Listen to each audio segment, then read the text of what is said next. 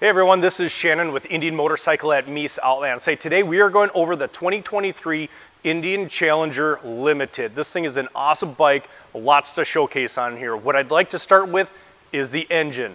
Uh, this thing is a 108 liquid cooled Power Plus engine putting out 122 horse. You add in the different ride modes like sport mode, this thing is gonna get going for a heavyweight bagger.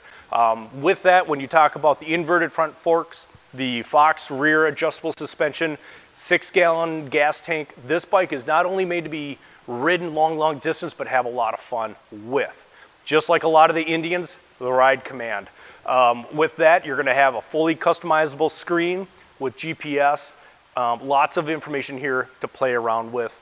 Um, as in uh, a lot of the baggers too, you're gonna have the adjustable windscreen, um, lots of things you can add onto this bike from sissy bars, upgraded exhaust, cams, you name it, we got it. So if there is anything that you're interested with the 23 Chieftain or any other Indian motorcycle, again, give me a call here at the Watkins location. I'd be happy to help you out.